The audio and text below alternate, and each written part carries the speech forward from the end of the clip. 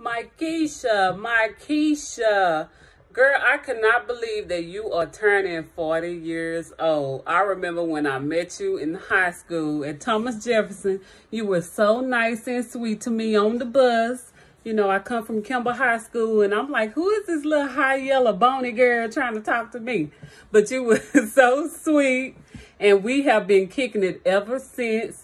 You are my Gladys. I am your Anita, and I love you. It has been a total pleasure to watch you grow up, to watch you grow into a mother, a wonderful wife. You have turned out to be a beautiful, well, you've always been beautiful. You have turned out to be a beautiful young lady, and I'm so proud of you and your accomplishments. You are so inspiring. I love how you always look out for everyone, not just your friends and family, but people in the community. And you know what? Honestly, you don't see a lot of people like that these days. And that is why I tell you, you will always be blessed. Be very, very blessed. I was going to get the boys in here to record this video with me, but I'm sorry, y'all. Unfortunately, I didn't get a chance to get them to their hair appointment. So I can't have them in here. But me, me, me, me.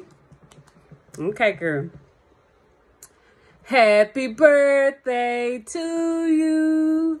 Happy birthday to you.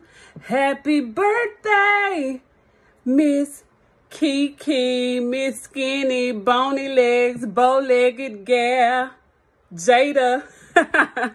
Happy birthday to you and many more. Oh, I hope I hope that didn't hurt y'all ears. Okay, y'all know I'm an alto. Okay, just give give me some credit now. But I love you, Kiki. As a matter of fact, I'm all flustered because me and you are getting ready to spend the day together now.